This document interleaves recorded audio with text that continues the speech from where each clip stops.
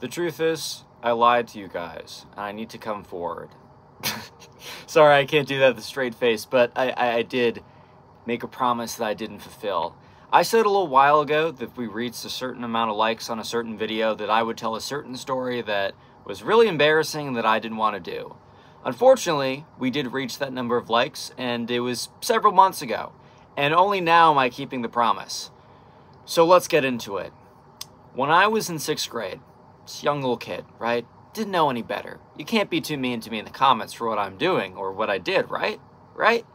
When I was a little kid, right, in sixth grade, I went to this summer camp. Tennis camp. Uh, I was a bit of a tennis player back in the day. Was never really that good, but was good enough to spend a lot of time doing it. So uh, make that what you want.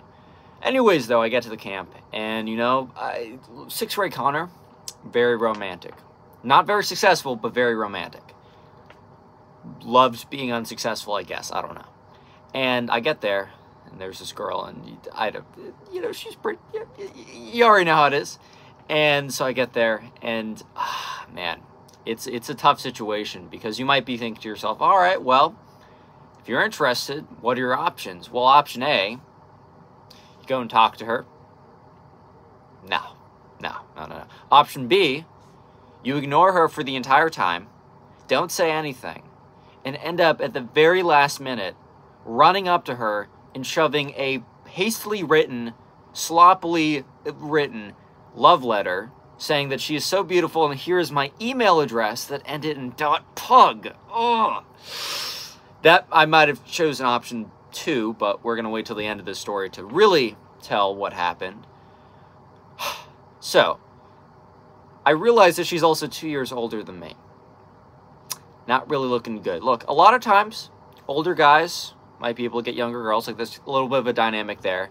It is pretty uncommon that a uh, an eighth grader girl is going to go for a sixth grade guy who's really weird. He's got really not great looking hair, like like down to here. It was bad, and refused to talk to you. I remember I also sat there doing some kind of mental math calculation, really probably the most insane mental gymnastics I've ever seen, trying to justify how, well, I'm in sixth grade, but that rounds up to seventh grade, which rounds up to eighth grade, which rounds up to ninth grade, which means I'm older than her. I, I don't know if I ever came to the conclusion that I was older than her, but I came to the conclusion that, no, no, no, we're, we're basically the same age. If you just do a little, uh, if you just lie to yourself, yeah, then sure.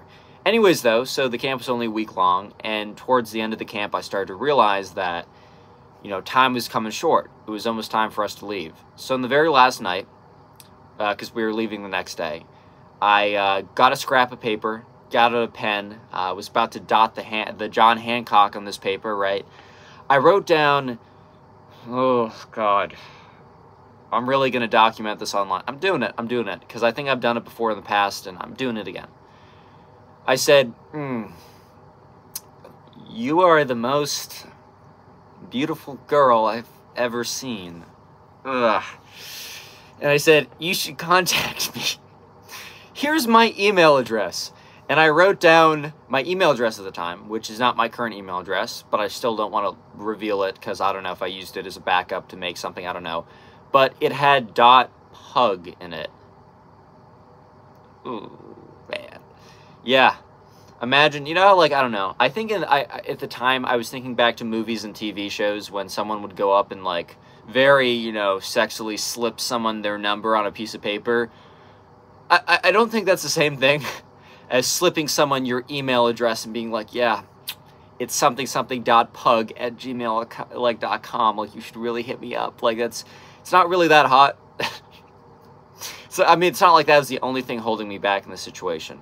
So, anyways, I write this letter, and at the very last second, as she's packing up to leave, I've never spoken to her, by the way.